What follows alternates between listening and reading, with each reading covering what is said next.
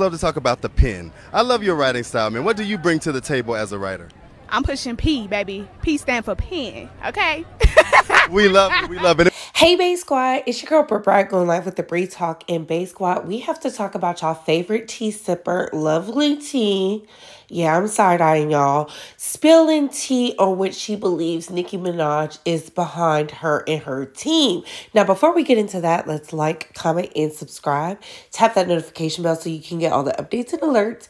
And remember, opinions are not facts. Everything we say here is allegedly and for entertainment purposes solely. So sit back, relax, sip you some apple juice or my favorite vegan water, and let's get into the mess, shall we?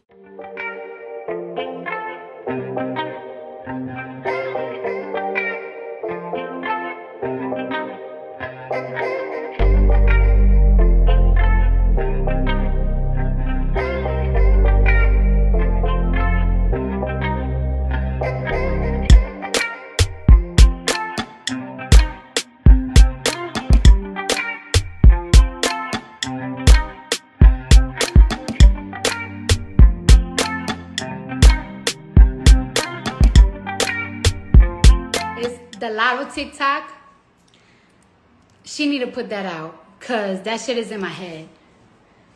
Hold on. Cause uh, this here is a nasty song. He love it when I put up with no panties on. I'm like, let me uh, Cause uh, this here is a nasty song. He love it when I pull up with no panties on. She she need to put that song out. She need to put that song out. Because I cannot stop singing it. I sing it to my nigga all the time.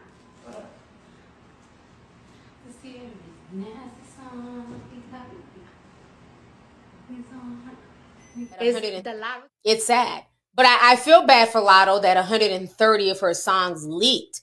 You know what I'm saying? Regardless of the situation, I don't think it was okay to leak her music because that's still music that they were working on and trying to surprise the fans with that now it's not a surprise to anyone or people really going to go out and stream it and buy it. No. So i think it was done on purpose and i feel like nicki and her team were definitely behind it because i it's not i don't think it was okay to leak latto's music. I, I don't. I don't agree with that at all. But um look somebody gonna look somebody gonna say Nicki innocent well, I mean, it's just I don't. I just find it interesting that she's quiet. Her nemesis is being, you know, embarrassed, and Nicki just she's quiet. No, she's somewhere in the background sipping tea. She she's she reminds me of uh who's the girl from Mean Girls, Regina George. You know how she like threw all the papers, showing all the receipts from the burn book, and then just walked off casually into the sunset while the whole school went crazy and was fighting each other. That's Nicki. She just released all these tracks. And now the girls are fighting it out and trying, uh-uh, I write my own music. Why write my own music? Oh, it's a reference track. That's literally how that just played out. You know what I'm saying? But yeah, I, I don't think it was. Woo! See, this is why they call you unlovely T because you sitting up on Beyonce's internet lying and then you're putting these released tracks at Nicki Minaj's feet. How dare you? You're too big and grown to even be doing this. But I have to blame you because you were a part of that Tasha K mess and you were the op. And because of that, I feel like you're looking for a Tasha K moment because Tasha K went up against your homegirl, Guadalupe, and she came out a winner. She came out victorious. Yeah, there might be a $4 million um, settlement over Tasha K's head, but Tasha K has been thriving. She's been flourishing, like you said about Latto. Latto has no fans.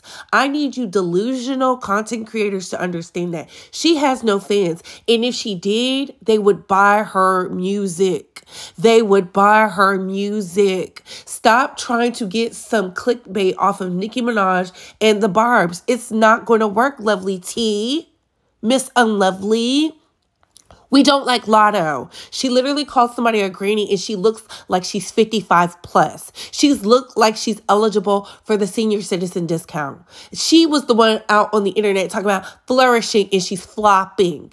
She's hitting that floor hard and fast. We do not care about scratch off. Okay. And while you sitting up here trying to have a moment, maybe you should call up your homegirl while she's out here dancing in her bare ass house, caping for Latto to, you know, maybe send her some support and some sisterly women's empowerment. But you won't do that because we know she doesn't stand for that.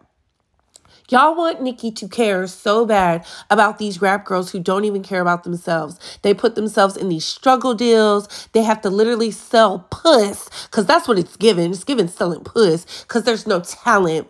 There's no nothing. And from the looks of it, Latto can barely read after that um interaction we seen with her and Nicki Minaj. I was just like, ooh, ooh, it's given remedial. And you want us to believe that Nicki Minaj is the reason her 130 songs are leaked? Child, it's given sympathy and payola, which you know all too well about because your homegirl baskets in it. She gloats in it. Leave Nicki alone. She's thriving. She's doing something the girls can't do. Flourish. You know, she has deals something the, the newbies should be figuring out. And if their music hit the internet, they should ask their weak ass labels, how come? Because the labels aren't making money. So maybe they're trying to ruin the artist. Did you ever think about that? Or are you one of them? It's giving you're one of them a Lovelyti. And that's why I don't respect you. And that's why I'm always going to be team Tasha K. Even though this has nothing to do with Tasha K. But I find it surprising that you want to talk about Mean Girls and we saw how you was acting. But anyways, y'all, what are your thoughts on this, babe? What are your opinions? Comment down below. I have to go. Bye, hoes.